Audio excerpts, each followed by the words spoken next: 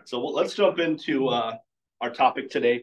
I'm going to go through the grid presentation, but then I want to kind of talk about how we how I do it as well on more of a local level because this is great. It's a nice stock presentation, but and it speaks to building a business with finding deals very much so like wholesalers do, but it doesn't speak to what someone who isn't trying to make this their full-time job of finding deals uh, does. And it's not my full-time job to find deals. My full-time job is to run my team and the brokerage and all that stuff. The this is my hobby. This is my part-time job. This is my side hustle. This is my retirement plan. So we'll do we'll get through this first, and then I'll show you guys some things I do and how I approach it to help build up what you're doing. So today's topic is how to find deals. Real quick, we'll jump into what is Grid. We go over this every time, but Grid is a global real estate community built for investors by investors. We're not gurus, we're a group of real people doing real estate deals. If you go online, there's a bunch of Grid Facebook pages, information online. There's like a hundred thousand members or something. And they're everywhere, and connect with them. I connected with a Grid leader from Virginia recently, and he was trying to refer me a regular home buyer. When we started talking about deals down there, um, and he's like, "Yeah, you should visit my community. Come onto one of our Zooms because buying houses down there a lot cheaper than buying houses here." You know, and if you're thinking about investing in other areas, it'd be nice to have an agent that's local, that's investor friendly. That, and if you're running a grid, you have to qualify. Like you have to have done so many deals and be so active. So they're already vetted for you. So it's a good option. Um, our mission is to connect, learn from, and collaborate with like-minded people interested in building wealth and creating impact through real estate. And that being said, like you don't have to do that here, right? Like if you're if you live in Delaware County, there's only a few spots you can really even afford, and I can't afford them anymore. So you're like, okay, five years ago you could have bought a house in a certain zip code around here for 50 grand. Doesn't exist anymore unless the place is getting knocked down, right? But there are places in America you can still buy a place for 50 grand. So find someone tapped in and brings a great network for that. Um, so we uh, we welcome investors of all experience levels, brand new, super experienced. We're lifelong learners, and we believe everyone has value to share. So please invite anyone new or uh, experience to our meetings.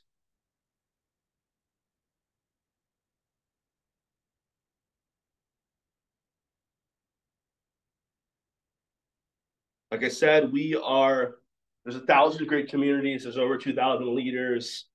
Uh, there's plenty of members. So please tap into that. Um, so who are we? Who am I? I'm Will Holder. I run the William Holder Realty team and Remax Classic. Uh, I run this group because I'm trying to find like-minded investors and help people build up wealth for real estate. It's like a passion of mine. It's why I got into real estate. It's why I started selling real estate because I wanted to be a real estate investor.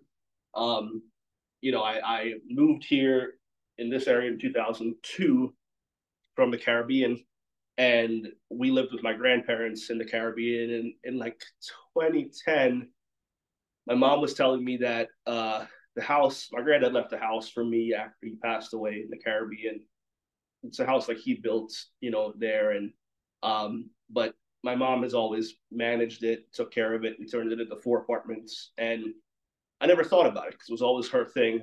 And uh, she was telling me in a conversation, she's like, "Oh, the house needs a roof." And I'm like, "Oh, well, you guys like need money?" Like, and she's like, "No, we'll pay for it." You know, and I'm like, I started to think about it. I'm like, "Oh yeah, there's four rents coming in, and it's paid off, like the house takes care of itself, right? And that's got led me to read Bigger Pockets, not Bigger Pockets, uh, Rich Dad Poor Dad. You know, the one book that gets everyone into it.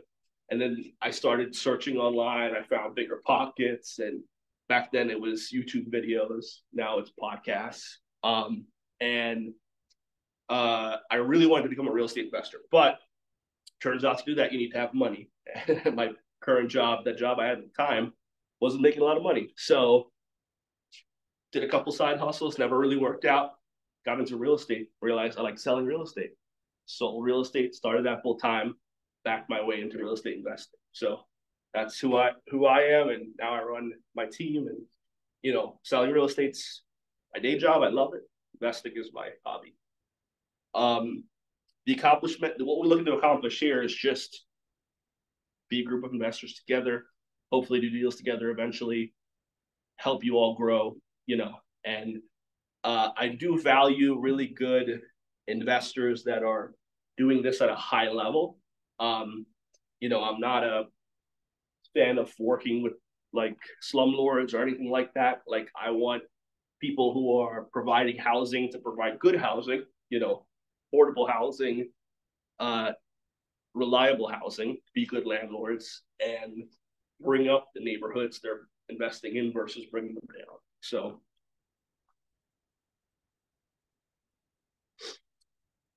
How you can connect with me or us, William Holder Realty team, uh, on Instagram, Facebook, TikTok for however long that's around. Uh, you know, YouTube. My phone number is 610-657-6215. Uh, email williamholderrealty at gmail.com. Um, shouldn't have wore a sweatshirt. It's hot in here. anyway, uh, I might, so tell a little about ourselves. We'll go around the room real quick. Start with me. I'm currently an investor. I own 19 properties. I have 63 units throughout Pennsylvania, nothing outside of Pennsylvania. Um, I've done probably about 10 to 15 flips. Yeah, somewhere between 10 and 15 flips. Not a huge fan of flips, but because you have to pay taxes, and I'm not a fan of taxes, but you know, taxes and death, right? You Can't really get away from them. So uh, I don't do flips to get money off them. I do flips to buy more properties, and kind of a necessary evil, I call it. I'm interested in BRRRRs. I love buy, renovate, rent, refinance. Yes, it's difficult to do, but it gives you the opportunity to rinse and repeat your money and lets you scale at the pace that I want to scale at. So, you know, I never wanted to be the guy that bought a property every few years. And by the time I'm, you know, in my 60s or 70s, I had 10 paid off because it just wasn't going to be enough. I wanted to scale faster. I wanted financial freedom faster, and the BRRRR method worked for me. So I'm always looking for properties with equity. Um, I'm hoping to learn from you guys anything you know about investing, uh, the any deals you have, anything like that, um, creative financing, etc. And that's me. So we'll go around the room. How's it going? I'm Jim DeStefano. I am uh, new to investing. I actually don't own any doors. Um, I am in the in the uh, in the industry. I do work for mortgage uh, lending, so some familiarity with what's going on in the background. Um, but really learning, uh, looking to learn more about investing because you know I really don't know where to start. Really don't know where. This is a great topic to find deals, so um, definitely excited for that. Um, I hope to benefit from the group. I mean, I hope to meet some new people, you know, learn more about investing, and hopefully, like Will said, and start investing with some other people as well. So, no real interest in any specific properties. Yeah, like I said, just learning. This is, you know, literally the second investor meeting I've ever been to. So nice. Tim? Um, Tim Aiken, I'm on Will's team. Uh, I've been invested in the past, not currently, but do want to get back into it. Uh, just trying to learn more for myself and my clients. Uh, Chris Conus, I am a uh, cleaning contractor by trade in my own business. Uh, I do have uh, six doors with my son and two doors with my wife. And then I've also flipped somewhere around Will's number, around 14, 15, 16, 17, somewhere in there, 17 flips over the last four years. Great. Uh, my computer will cooperate, important legal stuff, blah, blah, blah. Don't sue us. Okay. Just giving you free information.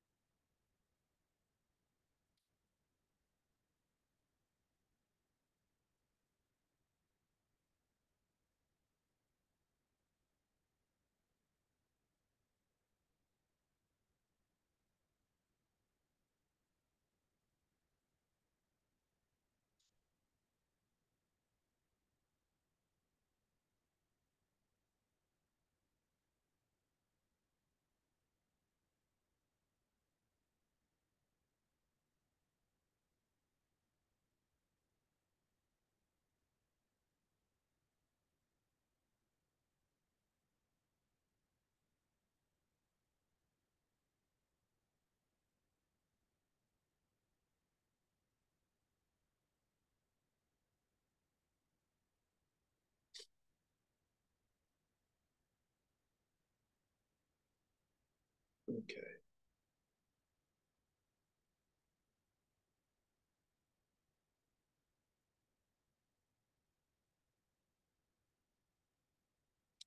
Again, we record these and post them on our social media. So your voice is heard. Sorry. Um, all right. So setting the stage, if you're a real estate investor or a full-time real estate agent, you're in the sales and marketing business. It's you're looking for deals, right? Don't be afraid to sell. So if you're a regular investor, post on your Facebook. Hey, by the way, friends and family, I invest in real estate. All right. Do you know anyone that has a deal? Some of the best deals I found have been that way, right? Don't ignore the small stuff, right? The same stuff you do to market yourself as a realtor, as a lender, uh, do it as a real estate investor as well. Some of the best investors that I follow on, like even locally, all they're doing is posting about the deals they're doing, what they're looking for, fun things. And I see people responding to them all the time. Hey, my aunt has a brother who, you know, locked himself in the house and doesn't want to leave for the last five years. Can you help? That's what investors are looking for, right? We're looking for a deal like that. So don't uh you doing? Uh, no, yeah. Uh, cool, cool, yeah. Um, so, you know, don't be afraid to market yourself, even on the smaller platforms. I mean, Facebook's not a small platform, but a more common platform like Facebook, you will find great deals. And the reality is, off market deals are going to be the best deals you find, right? Uh, what's up, man?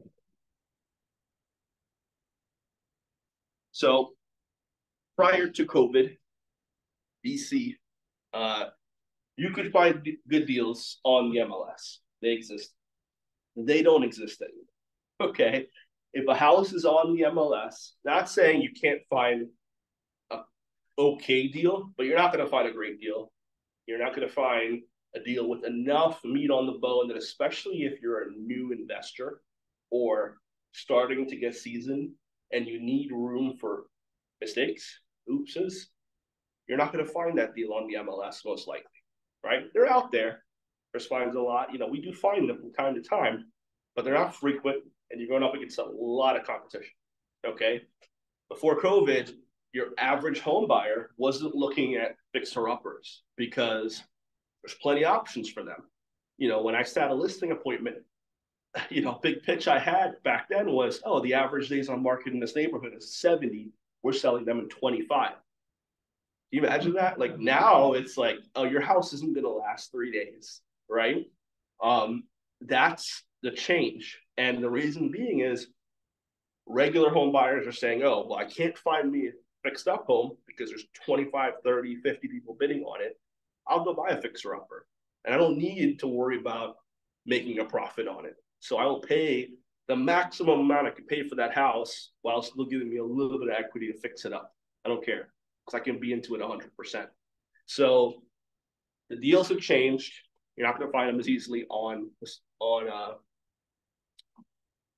on the MLS. So whether you want a wholesale or uh, whether you want to wholesale a home, fix and flip a property, or purchase a rental, nothing happens until you get a lead, and that only happens through prospecting, prospecting, networking, marketing.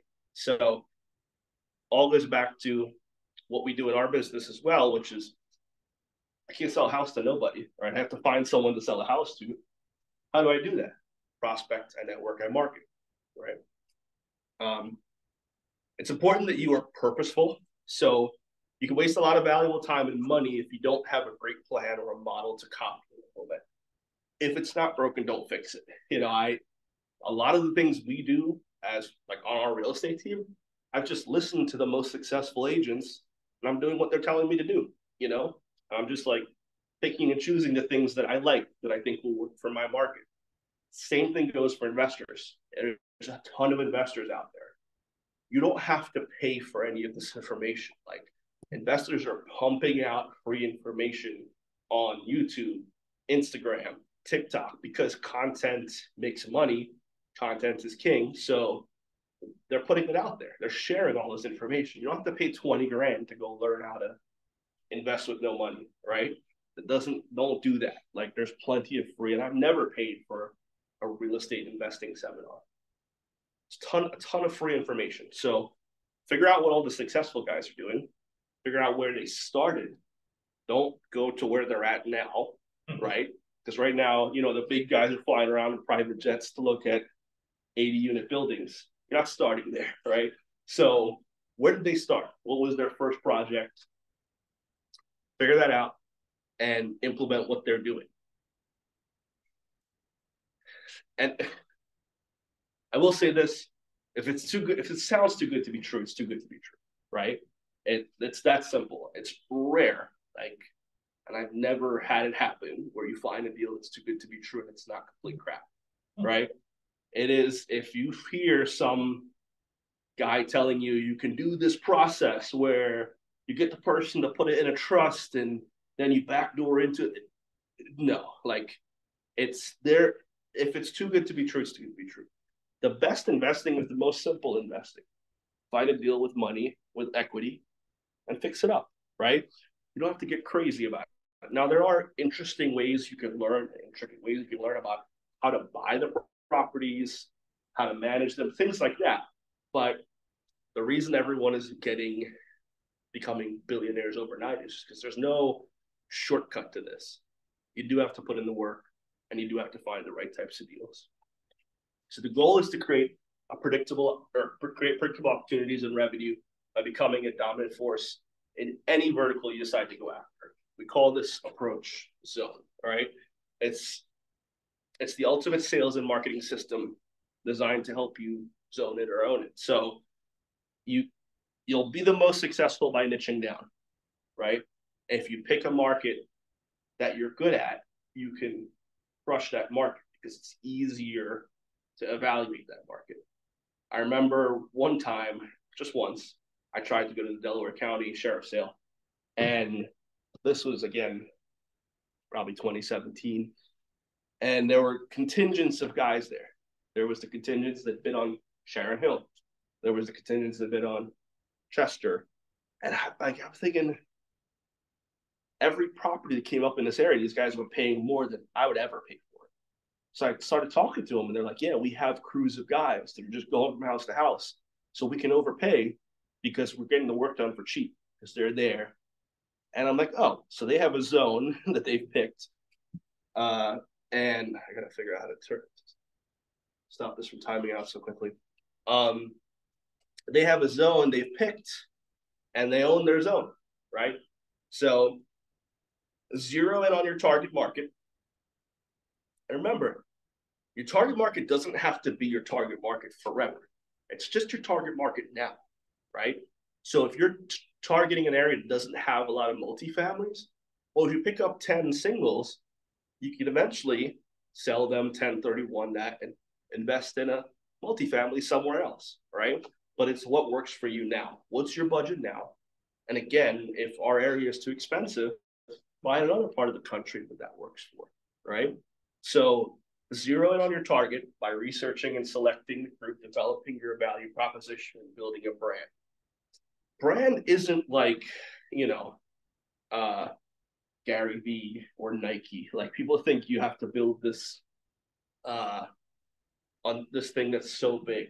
A brand could be as simple as if you've ever driven through most of these neighborhoods in Philly or Southwest, you see signs on every corner that says "We buy houses cash." Right?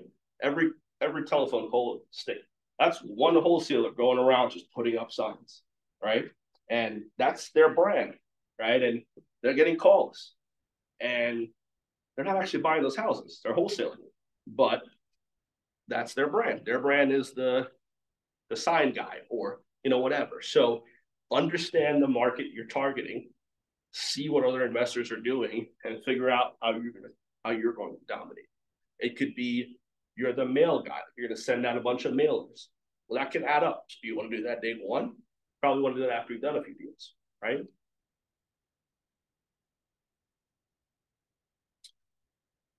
Uh, o is for own. the mind share of your market. So understand, you know, the market you're you're working in.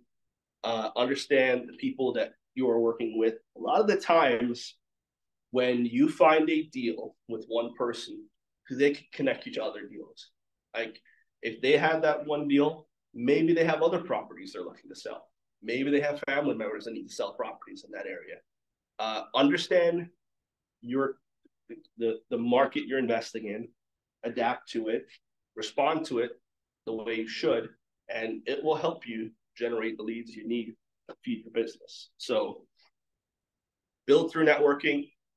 Networking is huge. Go to events in the neighborhoods, right? Like go to the zoning hearings, go to go on meetup and see if there's like uh, an a, a, an event like this happening or uh, other events, you know, um, uh, like family days, things like that. Go to these events, understand your market, talk to people, and let them know who you are. And if you're just being honest and letting them know, hey, if you ever know anyone that's looking to buy or sell or sell a house in this area, I buy houses in this area. Here's my card. Please have them call me. Like you're you're building who you are, just like you would with any other business. It's the same for real estate investing prospecting. So this is outbound activity that you're you're trading your time for leads. Basically, um, you could make offers on listed properties. So again, that's properties on the market. Checking newspapers, Craigslist, Facebook, and local sources for deals and listings. Go door to door or calling for sale by owners. There are for sale by owners out there. You know, you, it's as simple as going on Zillow and searching by for sale by owners. And there's a ton of for sale by owners still trying to sell their houses by themselves. And a lot of them are struggling and they're sitting there. A lot of them are just saying, hey, I don't want to pay an agent, but if you bring me a buyer, I'll pay you a commission. Well, if you're the buyer, you can get the property cheaper, right? Because they don't have to worry about the commission. And then you're negotiating for yourself. And, you know, if they're not represented, they're going to make some mistakes probably. And as an investor, you're hoping for that. So for sale by a good source. Door to door, this is a great one. And there's a few ways to go door to door. You don't have to physically go door to door yourself. You could, if you want to. You have a lot of time. You could pay someone to hand out flyers in the neighborhood for you. You could talk to Uber drivers and say, hey, you work in this area? Here's a bunch of my business friends. People that you're dropping off here, give this to them. You ever drive by a vacant home or house that looks like it's falling over, you send me a picture of it. Like you don't need to do the work yourself, right? Uh, if you're, you can have people that are out there doing it, and they get you, they get a finder's fee. Why wouldn't they do it? They're already out there, right? If you're working a job, full time job, like most of us are, to pay for this, have someone else that's already in the market do this for you. Talk to the postman. Hey, you drop it off a lot of mail at a house that is piling up. You let me know. Like, you know, give you whatever, 10, 15 bucks a lead, or if I, if I buy it, I'll give you 100 bucks. Like, talk to people that are in these neighborhoods. Go to the local township, ask about tax or uh, uh, notices, uh, grass, you know, notices that people are getting a lot of complaints about a property that's vacant, unkept. You know, Will they give that out? uh, yeah, it's public info. Yeah, yeah, yeah. Um, so there's other ways to target a neighborhood outside of just listed properties. And again, you're looking for deals, you gotta do some digging, but you'll find one. So networking, like we said, you know, letting people know about your business, how you can help. Again, as an investor, and I think people are kind of hip to the wholesaler thing because it's the same script a lot of these guys are using where they're calling and trying to find out the seller's motivation and they want to get a deal done. And most wholesalers are starting don't have any money, so they're just like trying to figure out how to do this. Uh, if you're an actual buyer, you're actually a cash buyer, and you find a distressed property or someone that needs to sell, you know, showing them available funds is huge, right? I don't go in there with your account that has five hundred thousand if you're trying to pay them market value for their house or less than. show them an account that matches what you're trying to pay them for it. A lot of the times they're getting calls, they're getting texts from these guys just trying to get a deal under contract so they can sign it. You're an actual investor and you show up and you say, hey, no, no, no, I can actually close. Here's my proof. They'll sign with you versus them. A lot of these people are in situations that they need to sell this property. There's a their tax liens, they're going to lose it. They're going to lose all their equity. Um, there's municipal problems. There's bankruptcy issues. You know, squatter issues. If you take the problem away, you help them with the problem, that's your value add, and they'll sell it to you for less, right? You know, they call your average realtor and say, I got to sell my house, but I have a squatter in there. uh, what am I going to do? You know, I can't even show it. Uh, you're an investor, and like, don't worry about it. You know, we'll take care of that. You know, we had a situation like that where uh, the squatter property, and literally this guy wouldn't respond to anyone who was in the property, and showed up one day, bunch of empty cans, beer cans outside, everything. So he went to the local liquor store and showed up with a 30 pack. He started talking right away. Guy, he was out of there within a couple weeks. Like you adapt to who's in there, right? People don't want to deal with that. If you're an investor, you have to deal with some of that. Uh, you know, being you know you're being in the right place. Obviously, you're attending events like this. Tell everyone in the world that what you're looking to invest. So, I talk to everyone about the BRRRR method, right? Like anyone that will talk to me, I'm a little annoying about it because it's what I want to do. It's what I enjoy. I see so much benefit in it. I talk to regular home buyers about it because of products like 203Ks that you can buy a house, fix it up with the bank's money, and move in there. And then a year later, refinance it at market value and get rid of your PMI. Like that's the BRRRR method. It's the same thing just for regular home buyers. If you are willing to get a little creative and get a little dirty in terms of doing some work, you can create a ton of equity, a ton of value that you didn't have just a year ago. Um, so I love the BRRRR method. I talk about it all the time, and people bring me deals. You know, um, become a connector. I'm kind of huge on this because I have a lot of contacts in my phone. Years of selling houses, you tend to stack up contractors and insurance people. And so anytime a client or a investor texts me, I'm like, yeah, I used these five guys and they were good. Try one of them. You know, like I know the guys not to refer because they screwed me, right? You know, and those that to me is like a version of karma. You know, like if you screw someone over, they don't refer you out ever. And that's probably the only karma you'll get in most cases. So uh, and then build a dream team. So, you know, we covered this here, great, but it, as an investor, you want your contractors, you want your lenders, you want your realtors, you want your title people, you want a dream team, right? If you have people that you work with over and over and over again, and they're doing right by you, pay them well, you know, because plenty of people that will screw you out there. And uh, if you find the right people, you can become very successful. And like I said, with the marketing, it might be that Uber driver, you know, that is very proactive and every time they're driving through the neighborhood, they see a house that's like the grass is high and they're like, hey, check out this address. So you go and you pull the name for that person and you call the family and maybe living in Texas now and they don't pay attention to it. You know, that's the that could be the, the a person that gets you a ton of deals. So marketing is huge, just like in anything you're running a business, you need to market. So uh, you're using money to leverage to deliver a message that'll get the phone to ring, right? Postcards, door hangers, start a website, Google, direct mail, social media. The same thing you do for really any business. If you think about it, when you're starting a business, you're like, what are the things I have to do to market my business? It's the same thing you're gonna do for running your investing, right? And finding deals. You need a message that is tailored to the audience you're trying to help. So you're an investor. You're not trying to sell pretty houses, right? You're trying to buy ugly houses. We buy ugly houses, right? That's a company. They're tailored to their market. It's branding, right? N is for nature and grow your database. This is the same thing with every type of uh, business, but the best business is repeat business because people already trust you. They've worked with you. They know you won't do it wrong. They know you're not going to say, I'm going to buy your house. And then you can't find an end buyer. So you terminate the contract. They know you'll actually deliver. So they're going to refer you to me.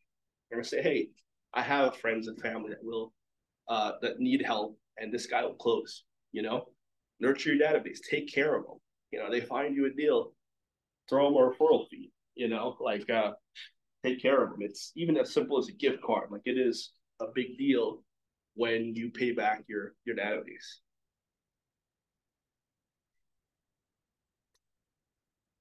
As you grow in communities, it's important to uh like the biggest thing for me is just having good reliable properties, right? If you're a landlord that takes care of your properties, sure that you show that you care, about your properties, you'll get very little problems. And eventually, if you build enough in a, in a community, you want to invest in that community, right? So uh, it's important. Now, if you're a new landlord, this isn't something you're thinking about yet. You're just thinking about getting properties, taking care of them, building it up. Eventually, when you get to the point that you're owning a lot of properties in a certain area, I'm going to start doing more for that area.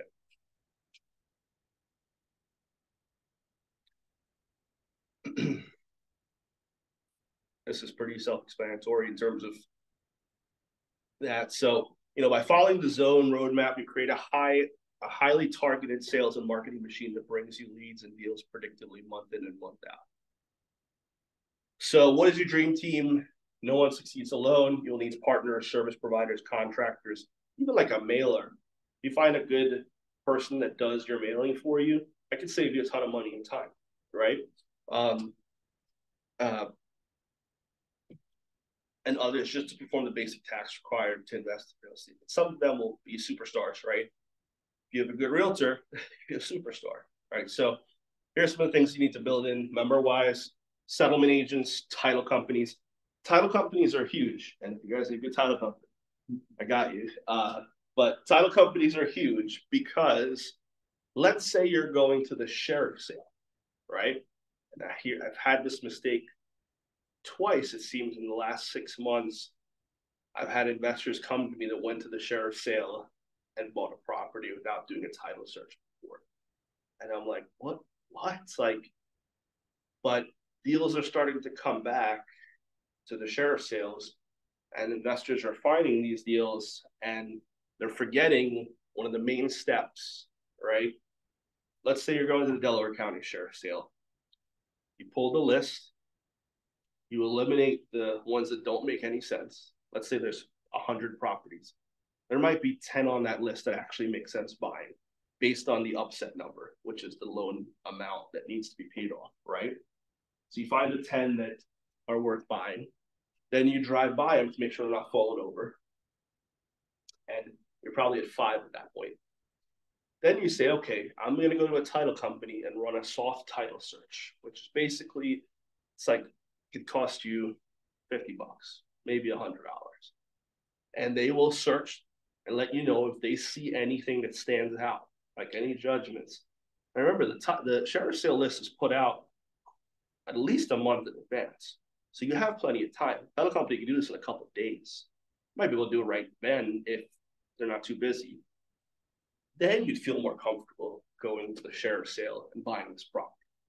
Don't skip that step because uh, as an investor comes here and I we we talked and he bought a property in Philly and there was a second mortgage that wasn't recorded when he got the property and that second mortgage was the first mortgage was like 101 property was worth 170 and he was going to put 10 or 50 in second mortgage was 60 so it was just like enough to put him right over the 100 percentage.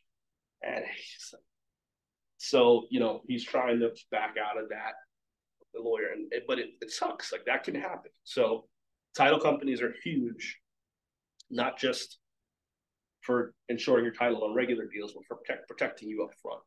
Um, hard money lenders, uh, contractors, suppliers, staging companies, real estate agents, attorneys, divorce attorneys.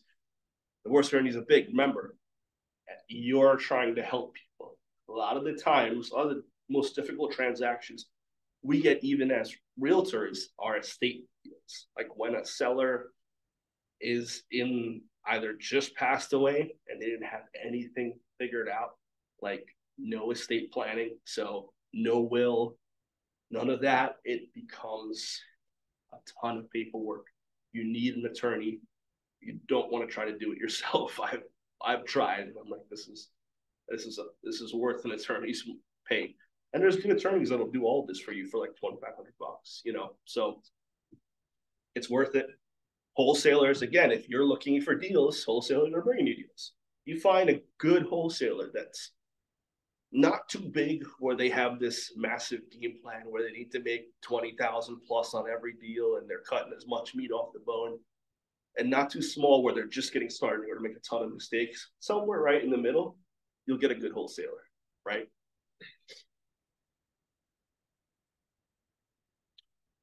Uh, network with your team. So remember, um, your contractors, they're probably not just working for you.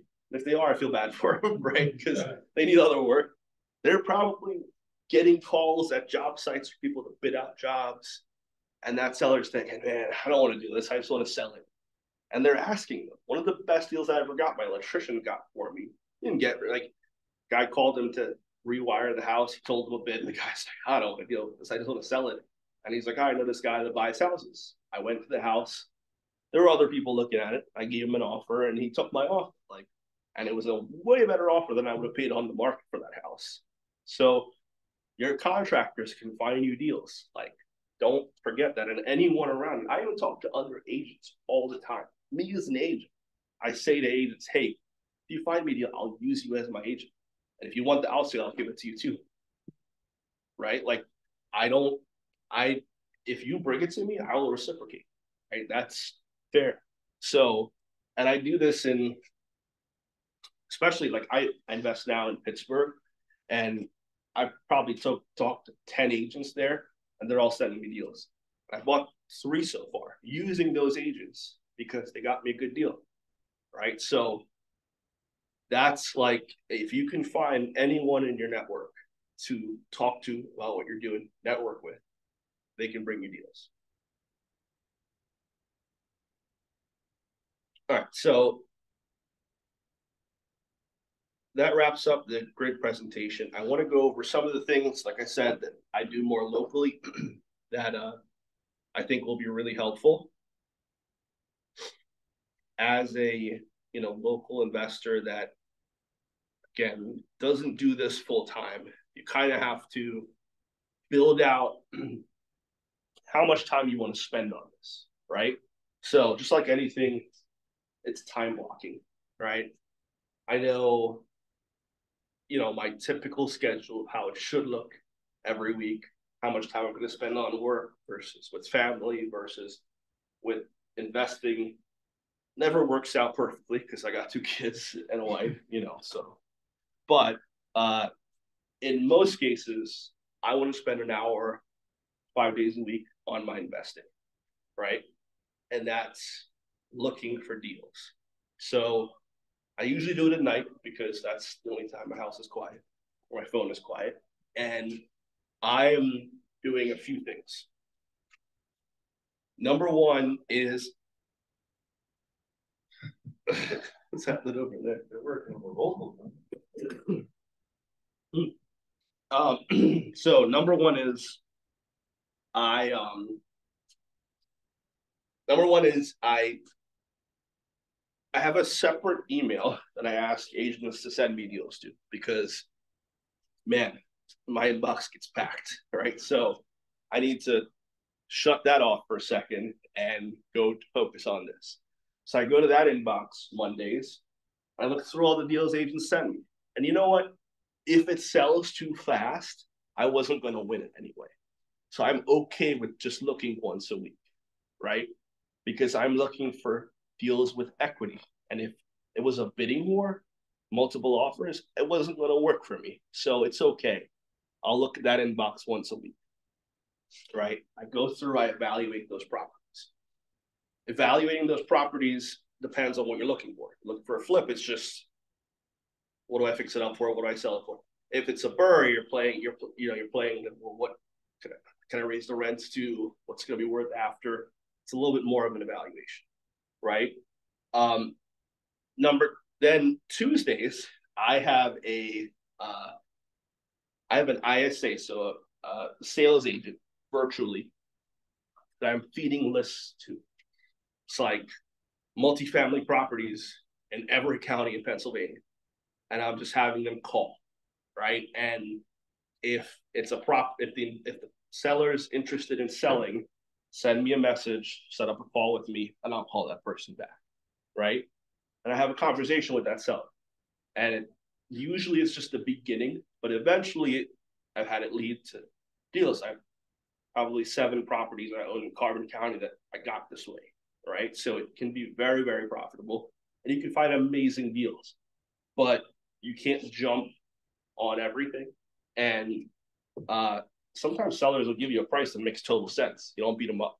You know, the ones I got that I liked, they gave me the price. It's like, all right, cool. You know, that, that works. So that's another way I'm marketing without marketing. I'm not there. I have a virtual assistant that I'm paying $4 an hour in the Philippines. They're working two hours a day for me. So that's eight dollars a day for five days a week. And so 40 bucks a week. I'm giving them the list that I found on, you know, list.com or whatever. And they're calling. And I'm my inbox is filling up. And I'll call these people back. And I will find deals. So it's worth the 160 bucks a month I'm spending. Because if I get one deal a year off of it, makes tons of sense, right? That's one way to market and find deals without doing any work, really. You're not doing the hard work, which is getting all the no's, you know. Um, then you have your sheriff sales, your, you know, tax sales, your uh, uh, default sales. That's another list you look at. I only look at two counties for that. Still look at Delaware County because I like the punishment, and then I look out over at Allegheny and Washington County. So that's more, uh, affordable for. And there's deals. So look at that. Um, then I still look at the MLS, and for you know regular consumers, that's your Zillows, you know your Realtor.com. Look on those websites. There are going to be deals out there. Look, they're worth looking. I found a lot of properties I bought have been on those those sites. Um, but also look on sites like LoopNet because that's where commercial realtors post.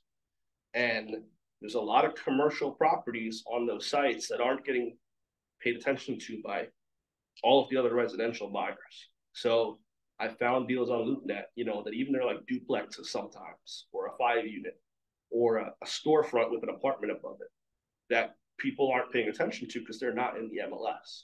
So LoopNet, I think, is huge. Um, there's also a website called BizBuySell. It's actually owned by CoStar, the company that owns LoopNet and Homes.com. And uh, they, it's if you're an, uh, a business owner, you're looking to sell your business, you can have you can post it yourself, or you can have an agent post it on there for you. And a lot of those will be like uh, laundromats, but they're selling the building with it too. And you'll find deals on there. All right, you'll be surprised how profitable some of these businesses are that people just want to get out. Of. So that's another way to find deals that you don't have to look specifically for the real estate. You can look for the business and the real estate comes with it, right? Um, and then I have my list of wholesalers that I go down and I take a look at. Then I go on social media. I look for deals through social media, right? So I go on, uh, I post, I go on these like different groups and I ask if anyone has a deal. You know, there's so many ways to find deals that you could do yourself without spending money. Really not spending outside of my ISA, I'm not spending money. These are all free methods of marketing myself to find deals right? So you can build out this whole marketing plan and get intricate with it, or you can just do these things, you know, for a half hour a day and find yourself a deal, right? And if you find one deal that way every six months, it's a property you own, you know, so it's worth the time. So that's all I have. Questions? So is there a, a way, like, one of the wholesalers I deal with, the last three or four deals he's brought my way that I didn't up getting any, I didn't end up taking any of them. But they were all in pre-foreclosure.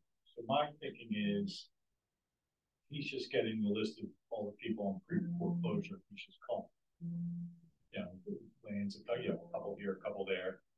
Um, is there any way I can get my hands on that list? Yeah, uh, So, websites. There's like list.com, all the lists. There's a few websites you can go on and they'll build a list for you. It's very cheap. It's like sometimes it's like 10 cents a phone number. It's not expensive. Um, you put in what you're looking for. And that's what I do for like my ISA. I have someone that builds a list and sends it to them. It's the same thing. So that's what these wholesalers are doing. They're paying for these lists and they're doing it. You can also go on Zillow and do a search by pre foreclosures. It's not super accurate. like at one point, my neighbor's house was on there. Like he was like, "Will, why is my house on pre foreclosure?" I'm like, "Paying your mortgage?" He's like, "Yeah." I'm like, "It's you know just file a claim with Zillow." But yeah. So will it, uh, let you know, uh, what the mortgage is? it will not. Um, there's a few ways to do that, right? The easiest way is just to call them and ask them, Yeah. right? Like you're talking to them, and obviously that's a tough conversation, but have to have thick skin. So, hey, look, I saw your house up for foreclosure. I don't want you to lose your place and your equity. Like, probably help you out here. I know what the market value is. I'm sure you know too. What, what do you owe on it? Like, what could I get you out of this for and help you get some money so you don't lose your house and everything you've built in it? A lot of people will tell you, right? Oh, I owed 200 and it's, you know, I know it's worth, right? I just don't have the money to pay for it. All right, let's work something out. You know, I cash, I can buy this and pay it, but, you know, we got to talk to your bank, right? You have to make sure you're talking to the bank because the bank doesn't know this is happening. They're going to foreclose on it, right? So, or the bank's lawyer, most likely. Um, but yeah, that's a great, that's a great method of, of getting properties for sure. You know, and I think you're doing that seller a favor. Some people only get want to get out of their own way, and they're just like, screw it, take it. You're gonna run into that a lot. But a foreclosure stays on your credit for seven years. Wrecks puts you in the four hundreds, which is hard to do, you know. And uh, if you pay it off before it forecloses, you can rebuild your credit pretty quickly, and you don't have that foreclosure. You can buy a house pretty quickly again. So, you know, and you know, America's land of second opportunities, third and fourth and fifth. So why why make it harder for yourself? Just work with me and I'll buy your house and then you can rebuild, you know? So yeah, pre foreclosure is a good one. So when all these deals come your way, do you have like a, like a bucket you put it in? Cause if you're, if you're looking for multifamily, right? So you just have your ISA, just look for multifamilies and then the, the deal comes your way and then another day you're looking for single families or is it just like, like what I'm saying is all these avenues, you're just Mhm. trying to pull one type of property? Yeah. So I'm at it. As a realtor, I have options because like someone brings me a deal that doesn't make sense for me, I can list it, or I might have other buyers are looking to buy it. But um, for me, I know what I'm looking for. That that's my focus, right? Everyone's focus changes or starts somewhere else. You might just be looking for flips. There's guys that make a lot of money just doing flips every year. You might be looking for a single family or duplexes. That's fine. You know, I, was there. Now I'm like, I don't want anything less than five units. And mm-hmm. if it's less than that, I don't even need to, to have a conversation with them. Like, I just want to focus on that in a certain price point. So I'm looking 30 to 50K per unit maximum. So, because a four unit Delco in Darby is 450 now, you know, so no, I can't buy that. Doesn't, you can't buy it. You will not, like, unless you're living in one of those units, it doesn't make sense for you. Or you buy in cash, which I don't know why you would, you know.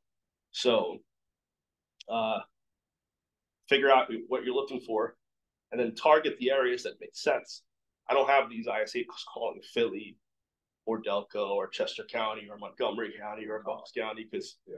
you're not going to find anything for that price in those areas if you waste your time. But all the other counties, Yeah. And how successful are you with, uh, Craigslist? I've never found a deal on Craigslist, so zero. But they're out there. I've heard people that search Craigslist for deals and find them.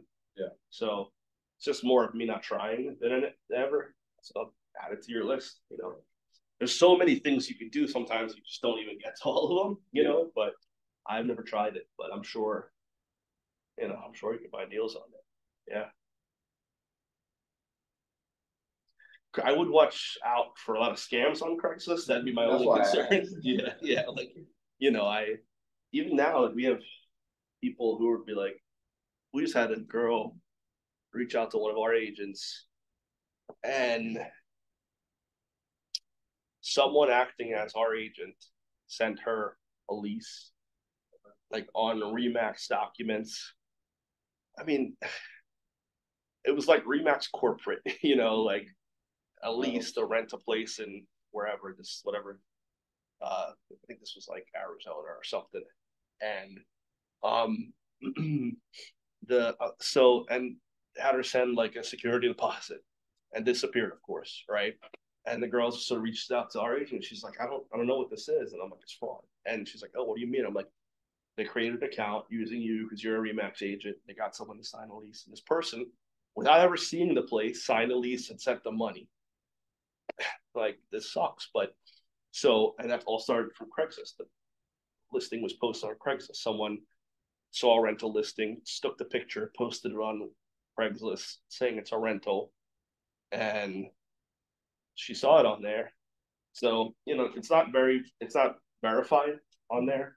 It is on a lot of sites, um, because a lot of sites are sweeping information from the MLS, whereas Craigslist you're creating the post manually, right? So you, anyone could post anything, right?